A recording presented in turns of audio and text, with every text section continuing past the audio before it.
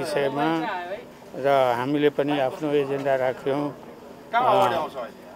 हाम्रो एजेन्डा जुन छ त्यो अब हाम्रा साथीहरू जुन जेलमा छन् तिनीहरू भन् छोड्नुपर्छ राजबन्दीहरूलाई। नागरिकताको प्रब्लम समाधान हुनुपर्छ त्यसपछि मुद्दा फिर्ता हुनुपर्छ।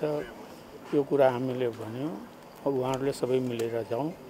अब ठिक छ अब अरू ठाउँमा हामी चाहिँ तपाईँहरूको कुरा सुन्न आएको हो हामी हाम्रो भनाइ थियो।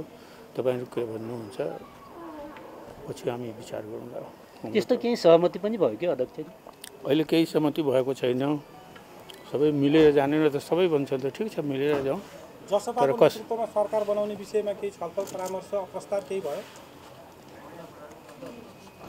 अब तपाईँहरूको मुखबाट सुनेको छु त्यो अब अरूको मुखबाट त मैले सुनेको होइन। प्रधानमन्त्रीले पनि ओलीले पनि प्रस्ताव गर्नुभयो भन्ने आएको थियो। आजको त्यही त तपाईँको तपाईँहरूको मुखबाट कि? सुनेको मलाई त कसैको मुखबाट यो कुरा अहिले आएको छैन। तपाईँकै नाम चर्चामा छ अझ प्रधानमन्त्रीको रूपमा के भन्नुहुन्छ? तपाईँ तयार हो? यस्तो राम्रो खबरको लागि तपाईँलाई एकदम धन्यवाद छ। प्लिजिङ सरप्राइज होइन? आजको निचोतको रूपमा चाहिँ के भयो? हामी फेरि आफ्नो आफ्नो गर्छौँ अहिले। वृहद छलफलको आवश्यकता छ। अब माओवादीसँग पनि हामी माओवादी केन्द्रसँग पनि हामी कुरा गर्छौँ। हामी सबै पाँचैजना यहाँ ल्याएका छौँ। अनि त्यसपछि हामी चाहिँ कुनै के भोलि पनि बस्ने गरी आज टुङ्गिएको हो कि अध्यक्ष होइन भोलिको।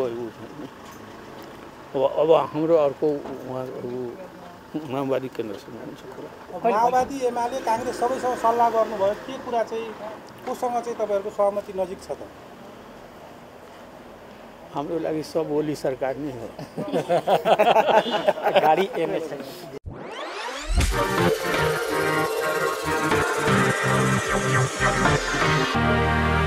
Thank